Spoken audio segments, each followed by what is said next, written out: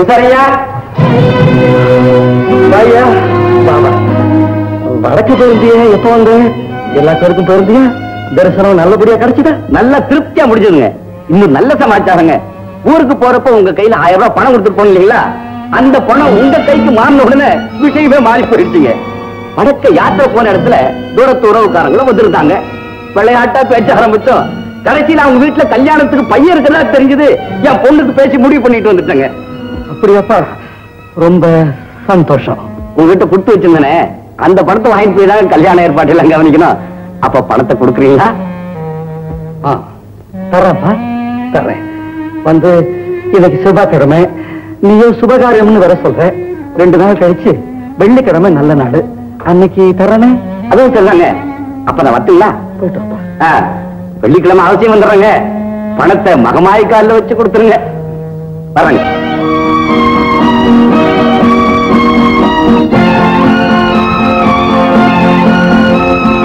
அம்மா உன் பாதத்துல வச்சுதான் உன் அனுமதியோட அந்த பணத்தை நான் எடுத்தேன். இப்போ உன் பாதத்துல வச்சுதான் பணத்தை திருப்பி கொடுக்கும்படி கொடுத்தவன் என்ன கேட்டுட்டு போறான். எங்க இருந்து நான் கொடுக்க போறேன்? உன்னை நம்பி வெள்ளிக்கிழமை கொடுக்குறேன்னு சொல்லி அனுப்பிச்சிட்டேன். நீரா எப்படியாவது ஏற்பாடு பண்ணணும். நீ நீ ஏற்பாடு பண்ணிடுவேன்.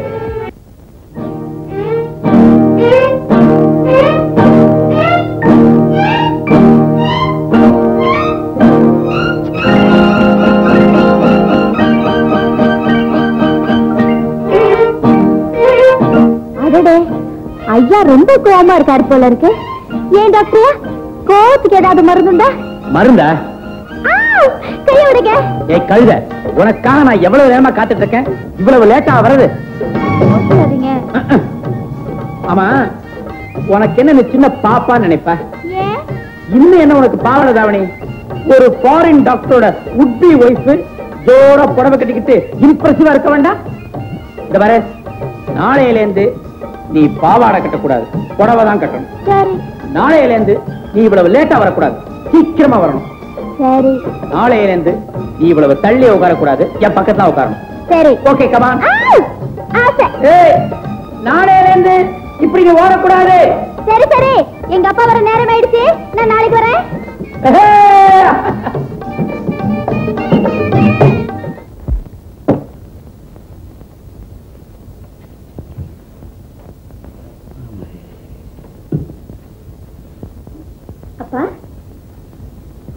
மாதிரியா இருக்கீங்க? ஒண்ணும் இல்லம்மா. ஒண்ணு இல்லையா? பின்ன ஏன்பா உங்க முகம் வாடி இருக்கு? சொல்லுங்கப்பா. அம்மாடி உன்கிட்ட சொல்லி என்ன பிரயோஜனம்? நீயும் சேர்ந்து வேதனைப்பட போற. உங்களுக்கு என்ன வேதனையா இருந்தாலும் அது என்னால போக்க முடியும்? சொல்லுங்க. சரிம்மா சொல்றேன். எனக்கு ஒரு ஆயிரம் ரூபாய் அவசரமா தேவைப்படுது. உன்னால கொடுக்க முடியுமா? என்னம்மா இது? நான் தலை போற விஷயத்தை பத்தி சொல்லிட்டு இருக்கிறேன். நீ குழந்தை மாதிரி சிரிக்கிறியே. ஒரு ஆயிரம் ரூபாய்க்காக இப்படி புலம்புறீங்களே? இப்போ உங்களுக்கு ஐயாயிரம் ரூபாய் வேணுமா? சொல்லுங்க நான் வாங்கி தர்றேன். என்னம்மா சொல்ற? ஐயாயிரம் ரூபாய் நீ வாங்கி கொடுக்கறியா? அந்த மாதிரி பத்து மடங்கு பணம் கொடுக்கறதுக்கு எனக்கு ஒருத்தர் இருக்காருப்பா. யாருமா அது? பண்ணையார் மகன்ப்பா.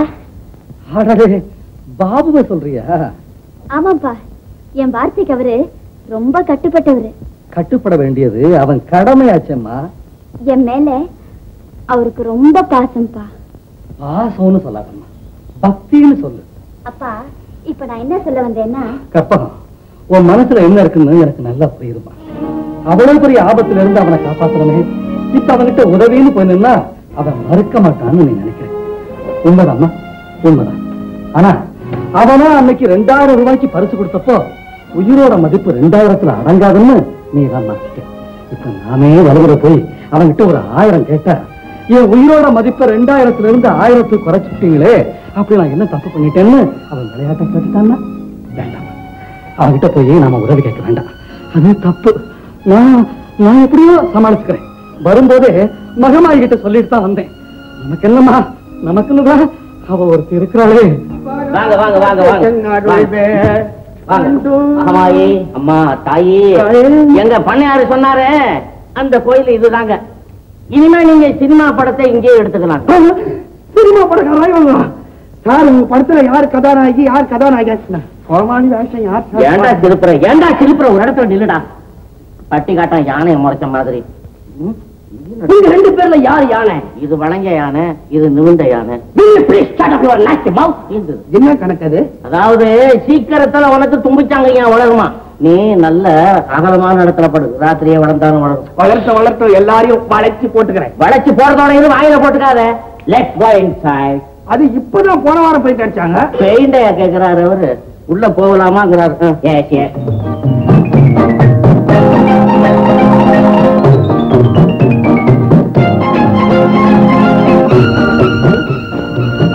பூனை பிடிக்கிறாரா?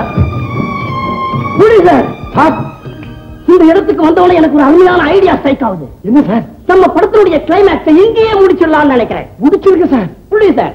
நம்ம கதைப்படி வில்லன் கதாநாயகிய மெட்ராஸ்ல ஒரு பாழடைஞ்ச பங்களாவில் அடக்கி வச்சிருக்கா இல்லைங்களா? ஆமா. அங்க இருந்து அவ அப்படியே எஸ்கேப் ஆவறா. ஆனா அவ தப்பிச்சுக்கிறான் நேரா ரயில்வே ஸ்டேஷனுக்கு போறான் ஏன் போலீஸ் ஸ்டேஷன் பக்கத்துல இல்லையா? இருக்காது.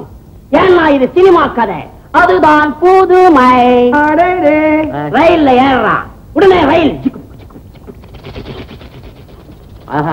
உடனே ஜன்னல் வழியா ஹீரோயின் வெளிய பாக்குறா பார்த்த உடனே என்ன சார். ஒரு ஷாக்கு அப்படியே அவளை தூக்கி வாரி போடுது. ஏன்? அந்த வில்லன் ஒரு கார்ல அப்படியே அந்த ரயில ஃபாலோ பண்ணிக்கிட்டே வர்றான். என்ன பண்ணுவா ஹீரோயின்? என்ன பண்ணுவா? ரயில்ல இருக்கிற செயினை பிடிச்சி இழுத்து நிறுத்தினாக்கா போலீஸ் வருது. போலீஸ் கிட்ட அந்த வில்ல நான் மாட்டி கொடுக்க வேண்டியதானே அவ்வளவுதானே? மாத்தி கொடுக்க மாட்டா. இது சினிமா கதை. அதுதான் புதுமை. உடனே ஹீரோயின் ஜன்னல் வழியா அப்படியே எகிரி வெளியே குதிச்சா வயக்காட்டுல குதிச்சா குதிச்ச உடனே விழுந்து எழுந்து ஓடுறா ஓடுறா ஓடுறா. ஓடிட்டே இருக்கிறான் எங்க ஓடுறா? எங்க ஓடுறா? வயல்ல நண்டு பிடிக்க ஓடுறா. எங்கயா ஓடுறா. நேரா இந்த கோயிலுக்கு வர்றா சார். சார். சார் இந்த கோயிலுக்கு வந்த உடனே இந்த மணி அடிக்கிறவன அவ பாக்குறாளா பார்த்தா அந்த நேரத்துல நீ பிள்ளையார் கோயில்ல தேங்காய் விட போயிருந்தேன். அவங்கள பார்க்க முடியல. உள்ள வந்தா அப்படி டேன் பண்ணி பார்த்தா பார்த்த உடனே இன்னொரு ஷாட் அங்கேயும் வில்லன் துரத்திக்கிட்டே வர்றான் சார். இவன் என்னங்க? பாவம். பொம்பளை என்ன பண்ணுவா தவிக்கிறான். தக்காளி தத்த தத்தளிக்கிறான் தத்தளிக்கிறான். அப்படியே துடிக்கிறா கையை மடிக்கிறா ஐயோ வேண்டாம் Don't disturb. இதுதான் நீங்க கவனமா கேட்கணும். கேட்கறேன் சார் பணத்தை போட்டுக்கிறேன். படத்தினுடைய முக்கியமான பாயிண்ட் இங்க தான் ஜாயிண்ட் ஆகுது. நேரா கதாநாயகி கோயில அப்படியே எட்டி பார்த்தா பார்த்த உடனே பளிர்னு ஒரு மின்னல். இல்ல ஐடியா ஸ்டார்ட் ஆகுது. இதுதான் இந்த படத்திலேயே உள்ள புதுமை. நேரா கதாநாயகி கர்ப்பக்கிரகத்துக்குள்ளவே போறான். போன உடனே அங்க இருந்த அம்மன் சிலையை தூக்கி நானே அந்த அம்மன் மாதிரி அலங்காரம் எல்லாம் பண்ணிக்கிட்டு அந்த இடத்துல உட்காந்துட்டான் அவ்வளவுதான் சார். வில்ல வந்தான். கதவு வழியா உள்ள பாக்குறான். உள்ள அம்மனை போலயே அலங்காரமா உட்கார்ந்து இருக்கிற நம்ம ஹீரோயினிய பார்த்து அம்மன்னே நம்பி பயந்து அலறி ஓடிடுறான் எப்படி? மன்னிக்கணுங்க இது வரைக்கும் நான் பேசாம தான் இருந்தேன். ஏன்னா உங்க கதையும் ஓட்டமும் ரயில்லையும் வயல்லையும் தான் இருந்தது. இப்ப கர்ப்பகிரகத்துக்குள்ளேயே வந்து அம்மன் சிலையே தூக்கணும்னு சொன்னீங்க பாருங்க. அது மட்டும் வேண்டாங்க. என்னால அனுமதிக்க முடியாது. எங்களுக்கு ஒண்ணு இறங்க வேண்டாம். இந்த கோயிலுக்கு ஐயாயிரம் ரூபாய் நங்கூர் கொடுக்கிறோம். ஐயாயிரம் கொடுக்குறீங்கல்ல? அப்புறம் என்ன தூக்கி தனியா வச்சுட்டு படத்தை எடுங்க? கனக பிள்ளைங்க நீங்க என்ன சொன்னாலும் சரி. இந்த கோவிலுக்குள்ள படம் முடிக்கிறதுக்கு என்னால அனுமதி கொடுக்க முடியாது. நீ என்ன அனுமதிக்கிறது? இது ஏன் கோயில்? அனுமதிக்கிறதும் அனுமதிக்காம இருக்கிறதும் ஏன் இஷ்டம்? சார் நீங்க எப்படி வேணாலும் படம் நான் ரொம்பவும் கெஞ்சு கேட்டுக்கிறேங்க. இந்த அக்காமத்துக்கு தயவு செஞ்சு சம்மதிக்காதீங்க. பூசாரி நான் சொன்னா சொன்னதான் தம்பி பண்டையாரங்க சொன்னதை கேட்டீங்களா தம்பி? நீங்க என்னோட வயசுல சின்னவங்கடா. இருந்தாலும் உங்ககிட்ட நியாயத்தை எதிர்பார்த்து நான் சொல்றேன். அம்மனை நகர்த்திட்டு படம் எடுக்கிறதுக்கு அனுமதி கொடுக்காதீங்க. தம்பி இது சாதாரண கல் இல்லைங்க சகல சக்திகளும் உள்ள பராசக்தின்னு நான் நம்புறேன். இந்த ஊரும் நம்புது. அப்படிப்பட்ட என் தெய்வத்தை ஏதோ பொம்மை நகர்த்துற மாதிரி நகர்த்திட்டு படம் எடுக்கிறதுக்கு அனுமதி கொடுக்க வேண்டாம்னு உங்க அப்பா கிட்ட சொல்லுங்க தம்பி. உங்க அப்பா கிட்ட சொல்லுங்க. யோ, இவையா தெய்வத்தை நம்ம தூக்கிட்டு போக போறோம். திரும்பவும் அங்கதாயா வைக்க போறோம். உனக்கு ஒரு ஆயிரம் ரூபாய் தர்றேன். இங்க தர்றேன். மகமகி ஐயா இன்னைக்கு நீங்க சொல்ற இந்த ஆயிரம் ரூபாய் எனக்கு ஆயிரம் கோடிக்கு சமம். இருந்தாலும் பெற்ற தாய தலைகுனிய வைக்கலாங்கடா. தெய்வ காரியத்துக்குன்னு சில சம்பிரதாயம் வரமுறை எல்லாம் இருக்குதுங்க. அதை நானே மீறிட்டா மத்தவங்க யாருங்க தெய்வத்தை மதிப்பாங்க? இங்க பாருங்க ஐயா தெருவோட போறவன் தோட்டத்துக்குள்ள இருக்கிற மாமரத்து மேல கல்லம் தெரியலாம் ஆனா தோட்டத்துக்கு காவல் இருக்கிறவன் அதுக்கு தொலை இருக்கலாங்களா கூடாதுங்களே. டைரக்டர் சார் எங்களை மன்னிச்சிருங்க. எங்க தோட்டம் துறவு எஸ்டேட் எங்க வேணாலும் உங்க படப்பிடிப்பு வச்சுங்க. தயவு செஞ்சு கோயில்ல மட்டும் வேண்டாம். என்னடா சொல்ற? பூசாரி தான் உளறாரு உனக்கு மூளை விட்டு போச்சா? சாமி கோயில் இதுலதான் உனக்கு நம்பிக்கை கிடையாது. அப்ப எனக்கு நம்பிக்கை இல்லாம இருக்கலாம். அதுக்காக நம்பிக்கை உள்ளவங்க மனசை நாம புண்படுத்த கூடாது. என்ன பொறுத்த மட்டும் பூசாரி பேசுற வார்த்தையில உண்மை இல்லாம இருக்கலாம். ஆனா அவரை பொறுத்த மட்டும் இந்த கோயில் இருக்கிறது கல் இல்ல தெய்வம்னு நம்பி அதுக்கு துரோகம் செய்யாம நடந்துக்கிறார். அவருடைய நேர்மைக்கு நான் தலைவணங்குறேன். மதிப்பு கொடுக்க பூசாரியா இந்த கோயில் ஒரு சாம்ராஜ்யம் அதுக்கு நீங்க தான் சக்கரவர்த்தி உங்க ஆசைக்கு எதிராக விருப்பத்துக்கு மாறா முதலாளிங்கிற முறையில என்னுடைய அபிப்பிராயம் நான் திணிக்கவே மாட்டேன். இது உறுதி. அம்மா.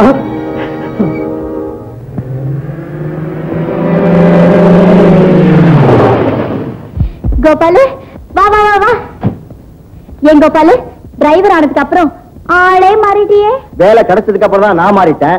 ஆனா நீ மாறினதுக்கு என்ன காரணம் தான் எனக்கு தெரியல. என்ன சொல்ற கோபாலு? ஒண்ணு இல்ல இது என்ன நீ கேட்கவே இல்லையே? நீ கேட்காட்டா பரவாயில்ல நானே காமிக்கிறேன் பார். அட புடவை. ஆமா கற்பகம் நேத்து தான் முதல் சம்பளம் வாங்கினேன். அம்மனுக்கு வேண்டியது இருக்கியா அப்பாட்ட கொடு. ரொம்ப சந்தோஷப்படுவார் அம்மனுக்கு வாங்கினா அப்பா கிட்ட கொடுக்கலாம். மகளுக்கு வாங்கிட்டு வந்திருக்கேன். ஆமா நாளையில இருந்து நீ பாவாடை தாவணியில கட்டவே கூடாது. ஒரு ஃபாரின் ரிட்டர்னோட உட்பி வாய்ஸ் புடவையை கட்டிக்கிட்டு ஜம்முன்னு இம்ப்ரெசியா இருக்க வேண்டாம். கற்பகம். என்கிட்ட நீ பார்வையை மாத்திடலாம் ஆனா உண்மையை மறைக்கவே முடியாது. சொல்லு. கோபாலு எனக்கு எல்லாம் தெரியும் கற்பகம். கோபாலு எப்போ உனக்கு எல்லாம் தெரிஞ்சு போச்சோ? நான் உன்கிட்ட எதையுமே மறைக்க போறதில்ல. ஆனா ஒண்ணு மட்டும் நிச்சயம். பண்ணையார் மகன் எனக்கு துரோகம் செய்ய மாட்டாருங்கிற நம்பிக்கை எனக்கு இருக்கு. ஆனா இதுக்கு உங்க அப்பாவோட சம்மதம் கிடைக்குமா? அதுதான் எனக்கு ஒரே பயமா இருக்கு கோபாலு இந்த பயம் ஆரம்பத்திலே இருந்துக்கலாம் கோபாலு இந்த விஷயம் வெளியே தெரியாத அளவுக்கு நீதான் ரொம்ப பக்குவமா நடந்துக்கணும். சமயம் பார்த்து பூசாரி ஐயா கிட்ட சொல்லி அவர் சம்மதம் வாங்க வேண்டியது என் பொறுப்பு. என்ன? மகமாயி இன்னைக்கு ஷூட்டிங் ஆரம்பிக்க போறோம்.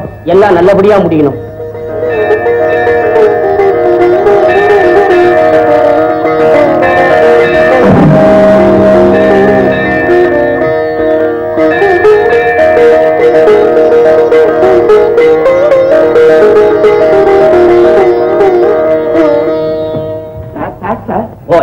இந்த கோயில்ல நான் மணி அடிக்கிறேன் சார் இந்த கோயில்ல நான் மணி அடிக்கிறேன் ஒரு நாளைக்கு ரெண்டு தடவை அடிப்பியா? சார். ஓய் என்னப்பா என்ன எவ்வளவு வேணும் உனக்கு எனக்கு பணம் வேணுங்க. இப்ப என்ன? பர்சியா கேக்குறியா உங்க படத்துல எனக்கு ஏதாவது ஒரு வேஷம் கொடுங்களேன். வேஷமா? உனக்கா? சின்ன வயசுலயே நான் தெருக்கூத்தெல்லாம் நான் ஆடி இருக்கேன். கிருஷ்ணர் வேஷம்னு ரொம்ப நல்லா போடுவேன். வேஷமா? ஆமா அந்த தோல்ல எல்லாம் வில்ல தொங்க வச்சுக்கிட்டு முதுகுல அம்பு சரிக வச்சுக்கிட்டு இருப்பாங்களே. வில்லு அம்பு வச்சுக்கிட்டு கிருஷ்ணரா? ராமகிருஷ்ணனா இருக்கும் அந்த மாதிரி வேஷமா பார்த்து எனக்கு கொடுங்க சார். உன்னுடைய கலை ஆர்வத்தை நான் ரொம்ப ரொம்ப பாராட்டுறேன். ஆனா இந்த படத்துல ஒரு வேஷமும் பாக்கி இல்ல.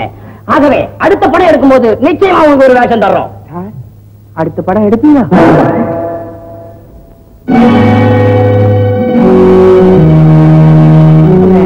சார்? ஞாபகம் மருந்து வேற எங்கேயாவது வச்சுங்களா ஐயோ, எனக்கு நல்ல ஞாபகம் இருக்கு சார். அந்த கவலை இந்த பர்சோட தான் வச்சிருந்தேன். என்ன தேடுறீங்க? சரியா ஒரு கவர்ல ஆயிரம் ரூபாய் பணத்தை போட்டு வச்சிருந்தேன். எங்கேயும் கை தவற விட்டுட்டேன். நீங்க பாத்தீங்களா? இல்லைங்களே நான் பார்க்கலைங்களே எனக்கு பணம் போனது கூட பெருசு இல்ல. ஆனா இந்த தெய்வத்தை நினைச்சா எனக்கு சிரிப்பா வருது. பூசாரி ஐயா எங்க படப்பிடிப்பு நல்லபடியா முடிஞ்சு நாங்க ஊர் திரும்புறப்போ இந்த கோயில் திருப்பணிக்காக அந்த பணத்தை காணிக்கையா கொடுக்கணும்னு நினைச்சு வச்சிருந்தேன். அந்த பணம் தான் காணாம போயிருக்கு. இந்த தரித்திரம் முடிச்ச தெய்வத்துக்கு அதுக்கு கொடுக்கணும் இல்லைங்க சரி சார். என்ன பெரிய ஆயிரம் ரூபாய் வாங்க வேலைக்கு வருவோம்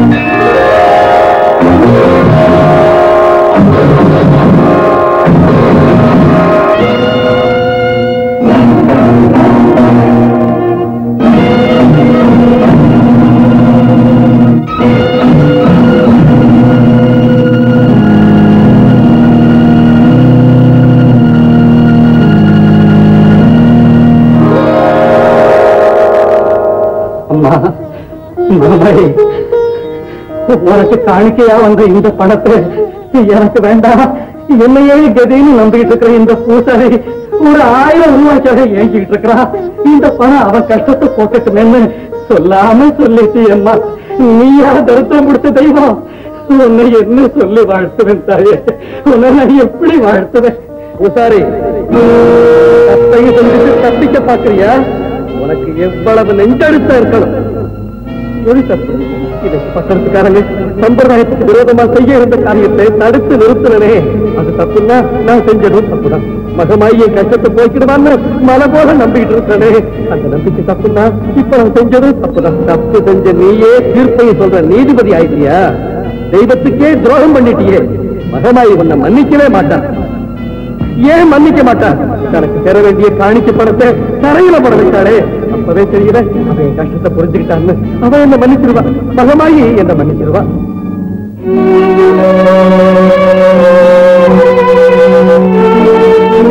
மகமாயி. சரியா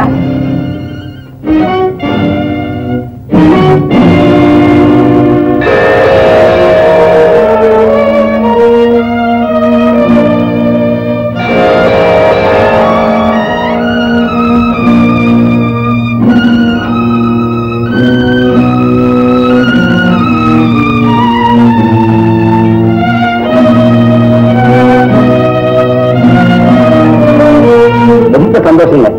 நிச்சயதார்த்தம் நீங்களும் அவசியம் வந்துடணும். அப்ப வரட்டுங்களா ஐயா. என்ன விஷயம்? உங்ககிட்ட ஒரு முக்கியமான விஷயம் பேசணுங்க தங்கச்சிக்கு சீக்கிரமே கல்யாணத்தை பண்ணிட்டா ரொம்ப நல்லதுங்க. என்ன சொல்ற நீ? நம்ம பாபு ஐயாவே தங்கச்சி கட்டிக்க. ஐயா கற்பகத்து மேல அவருக்கு பிரிய ஏற்பட்டிருக்கு. தங்கச்சி அவரை விரும்புதுங்க. ரெண்டு பேரும் ஊர்ல ஏரிக்கரையிலையும் குளத்துக்கரையிலையும் சந்திக்கிறாங்க பேசிக்கிறாங்க. நீங்க மட்டும் சரின்னு ஒரு வார்த்தை சொல்லிட்டீங்கன்னா எல்லாமே முடிஞ்ச மாதிரி. முடிச்சிட வேண்டியதுதான் முடிச்சிட வேண்டியதுதான் அப்பா என்னப்பா திடீர்னு வந்து நிக்கிறீங்க? எங்கேயாவது அவசரமா வெளியே புறப்பட்டு இருக்கிறியோ? அதெல்லாம் ஒண்ணு இல்லப்பா. சரி சரி அதெல்லாம் போகட்டும். அன்னைக்கு எனக்கு ஆயிரம் ரூபாய் அவசரமா தேவைப்பட்டப்போ பண்ணையாரமாக கொடுப்பாருன்னு சொன்னேன்ல. ஆமாப்பா. ஆயிரம் என்ன? ஐயாயிரம் வேணும்னாலும் கொடுப்பாருமா கொடுப்பாரு. அதுவும் உனக்கு நிச்சயமா கொடுப்பார். அந்த அளவுக்கு உங்ககிட்ட அவர் கட்டுப்பட்டவர். அந்த அளவுக்கு உன் மேல அவருக்கு பாசம். ஆமாப்பா. ஏமா கொடுக்க மாட்டாரு? இதுக்கெல்லாம் காரணம் நீ அவருக்கு உயிர் கொடுத்துருக்க அது மட்டும் இல்லப்பா. வந்து சொல்லுமா சொல்லு. சொல்லு. ஆபத்து சமயத்துல காப்பாத்தின இல்லையா? அத மனசு வச்சுட்டு அதுதான் எனக்கு தெரியுமே. இப்ப என்னமோ சொல்ல வந்தியே என்ன அது? அதெல்லாம் ஒண்ணு இல்லப்பா. ஒண்ணும் இல்லைன்னு சொல்லிட்டா எப்படி? இருக்கே. அவர் உயிரை காப்பாத்துனது இப்ப ரொம்ப சின்னதா போயிடுச்சு. அதுக்கு மேல ஒரு சொந்தம் ஒரு உறவு உங்களுக்குள்ள ஏற்பட்டு போயிடுச்சு. இல்லையா? அப்பா, மறைக்கிறேன். பெற்ற அப்பங்கிட்டயே மறைக்கிறேன். பண்ணையாள மகனோட ஏரிக்கரைகளையும் குளக்கரைகளையும் பார்த்து பேசுறேன் பழகுறேன். ஊருக்கெல்லாம் தெரிஞ்சிருக்கிற இந்த மானம் கெட்ட ரகசியம் இப்பதானே என் காதுக்கு வருது. கற்பம் ஒண்ணு மட்டும் நல்லா நினைவுல வச்சுக்க. என் வம்சம் அன்னக்காவடி வம்சம் தான் பஞ்சத்துக்கு ஆண்டியோ பரம்பரைக்கு ஆண்டியோன்னு சொல்லுவாங்களே அந்த பரம்பரை தான்.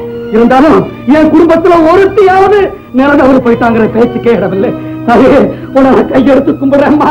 அந்த நல்ல பேரை கெடுத்துறாது. அப்பா நான் உங்களை கெஞ்சி கேட்டுக்கிறதா செஞ்சு அப்படி பேசாதீங்க. இந்த நிமிஷம் வரைக்கும் மனசார கூட நாங்க தவறா நடந்தது கிடையாதுப்பா. அந்த மாதிரி தவறான தைரியம்லாம் எனக்கு கிடையாதுப்பா.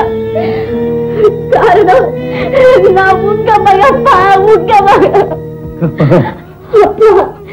அவரோட காசு பணத்துக்கு ஆசைப்பட்டு நான் அவரை விரும்புவேன் அவரோட நல்ல குணத்துக்கு மதிப்பு கொடுத்து தான் நான் பழக ஆரம்பிச்சேன். ஆமாப்பா முறைப்படி உங்களோட சம்மதத்தையும் ஆசீர்வாதத்தையும் வாங்கிட்டு தான் என்ன கல்யாணம் பண்ணிக்கிறதா? நாம கும்பிடுற அந்த அம்மன் மேலே சத்தியம் பண்ணிருக்காருப்பா.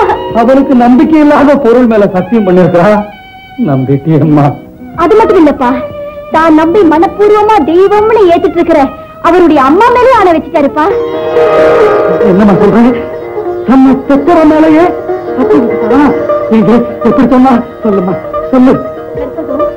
இந்த உலகத்துல எவ்வளவு பெரிய சக்தி என்ன தடுத்தாலும் உங்க அப்பா ஒருத்தர் இதுக்கு சம்மதம் தெரிவிச்சா ஊரறிய உலகறிய உங்க கழுத்துல நான் தாலி கட்டுறேன். இது என்ன பெற்ற தாய் மேலானு அப்படின்னு சொன்னாருப்பா. ஏம்மா அப்படியாம்மா சொன்னா அது போதும்மா. அது போதும்மா எனக்கு. இனிமே இந்த உலகமே புரண்டாலும் அவன் மாற மாட்டாங்கிற நம்பிக்கை எனக்கு இருக்கு. என்னவோ என் உள்ள கலங்கிட்டு இருந்தேன். என் கலக்கத்தை போக்கிட்டேம்மா நீ நீ இருக்கேங்கிறத நிரூபிச்சுட்ட தாயே. இந்த ஏழைய மறந்துலான்னு என் மகளுக்கு ஒரு பெரிய வாழ்க்கையை தேடி கொடுத்துட்டியே. ரொம்ப சந்தோஷமா நான் ரொம்ப சந்தோஷம். அப்பா, அந்த பையனுக்கு உனக்கு கல்யாணம் செய்து வைக்க வேண்டியது ஏன் பொறுப்பு. ஏன் பொறுப்பு.